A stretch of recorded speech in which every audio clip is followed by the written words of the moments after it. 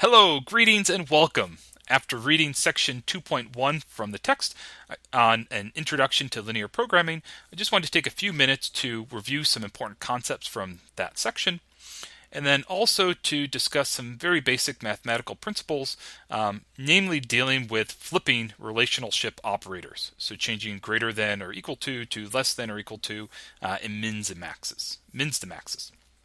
Okay, um, so without further ado, Okay, I first wanted to start with um, the three fundamental assumptions of linear programming.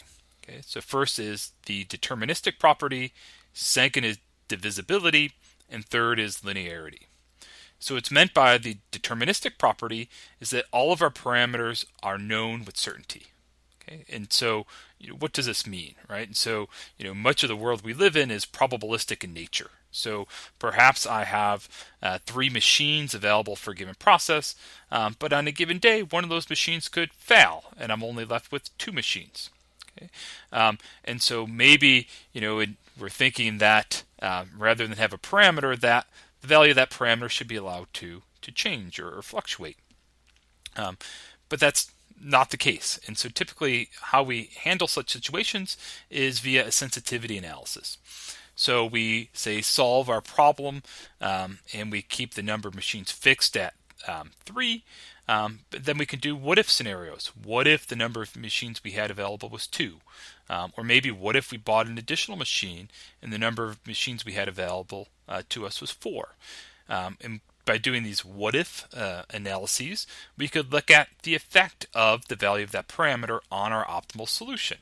Okay, maybe um, you know, I have a machine that I can run for on um, for seven hours a day. Uh, what if I had eight hours available, or what if it crashed halfway during the day uh, and I only had three or four hours available? All right, and so by uh, sensitivity analysis, we would play around with you know looking at these what if scenarios to look at what the effect of a value of a parameter is on an optimal solution.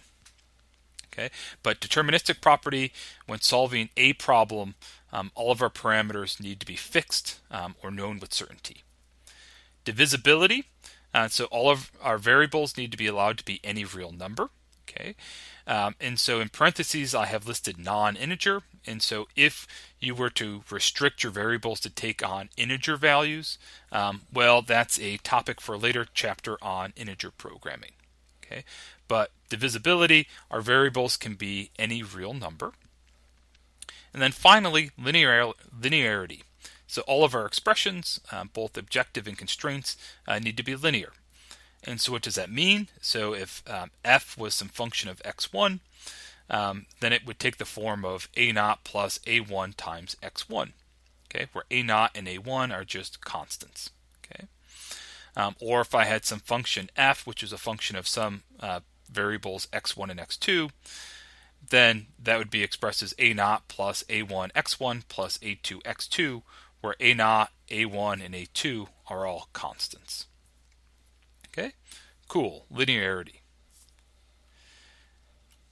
Then the second thing I wanted to mention in terms of some basic math, because um, oftentimes we'll need to um, manipulate our problems for uh, solutions on particular software, um, is the basic form of our um, problem is going to be that we're trying to you know maximize some function uh, subject to some set of constraints. Okay, so we're going to maximize um, you know f of x where uh, you know f of x. So uh, f is a function that maps x, some variable, to z, and this is just some generic representation for uh, you know subject to uh, constraints listed in, in the text.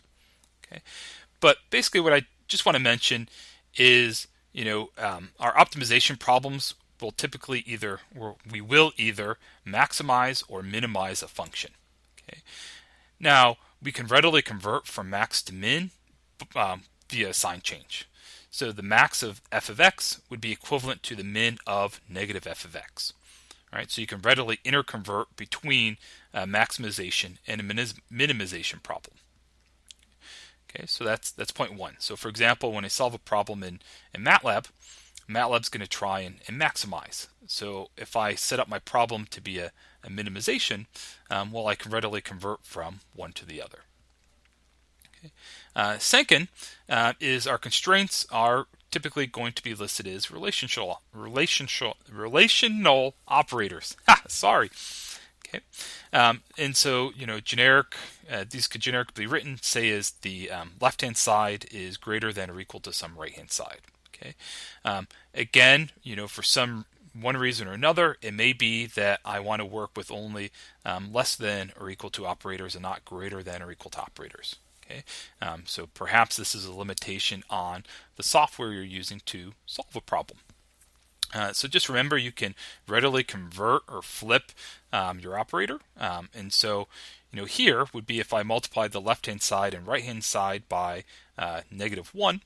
Okay, um, what that would do is that would flip my operator, right? So, while LHS, my left hand side, is greater than or equal to my right hand side, okay, the negative of my left hand side would be less than or equal to the negative of my right hand side. Okay, and so this gives me the ability to flip these operators so that if it needed to be flipped for you know a reason, um, typically when dealing with you know particular software that can only handle um, constraints in a given form, uh, we can readily convert from one to the other. Okay, um, but that's all I want to mention from uh, section 2.1. Next, we'll dig into 2.2 and we'll begin to solve uh, some problems. Okay, all right, let's do it.